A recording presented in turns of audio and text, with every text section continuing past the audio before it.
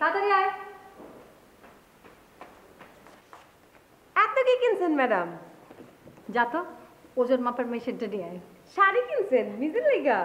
এই দুটো শাড়ি কিনতে গিয়ে বসুন্ধরা কমপ্লেক্স মোটামুটি পুরোটা ঘোরা হয়ে গেছে।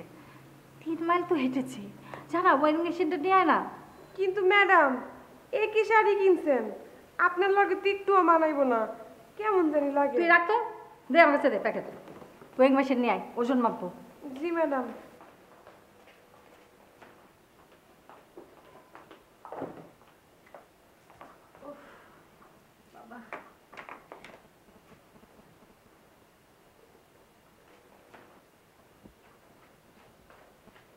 ম্যাডাম আনছি। রাখ রাখ রাখ।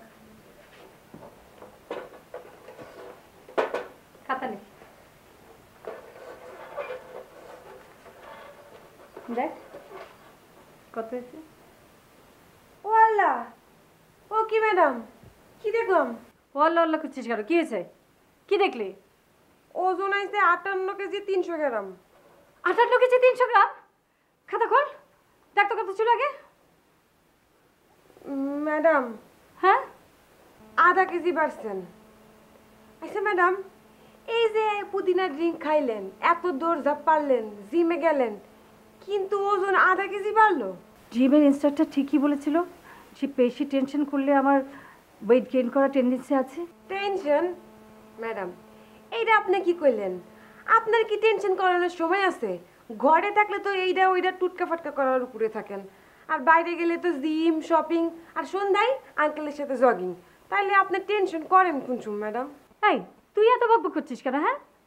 আর এই যে বাড়ির কি অবস্থা?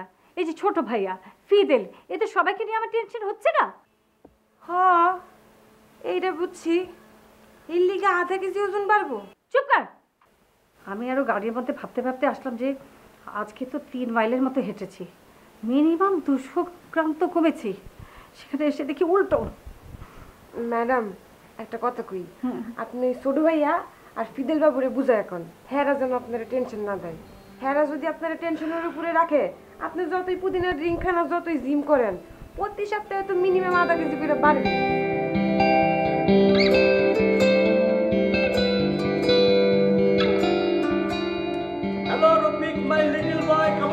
এদিকে আসো, এদিকে আসো।